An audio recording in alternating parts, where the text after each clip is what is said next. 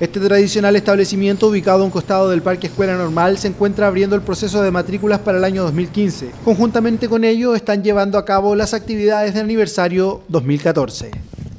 Estamos ya iniciando lo que es las actividades que tienen que ver con eh, el aniversario del establecimiento, que como fecha es el día primero de septiembre.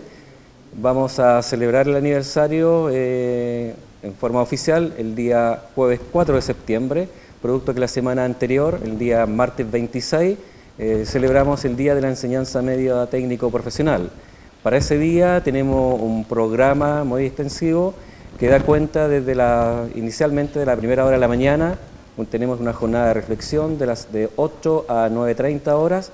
posteriormente en el gimnasio cubierto de Angol, donde ya hemos invitado a todas las autoridades educacionales en general, eh, para que participen de lo que sería este programa, principalmente eh, como tema central, eh, aparte de celebrar el día como tal,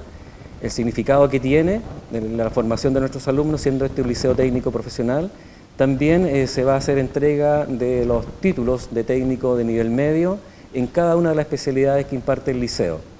para eso ya están los alumnos, son alrededor de 160 alumnos, que al término del año 2013 y comienzo ya del 2014 han terminado su proceso de titulación y en esta ceremonia van a recibir entonces su título profesional. El director de este establecimiento se refirió al trabajo que realizan por estos días con el fin de mejorar la gestión. Levantar las especialidades en función de mejorar lo que es la oferta educativa. Para eso en el presente año el establecimiento se adjudicó un proyecto de equipamiento técnico profesional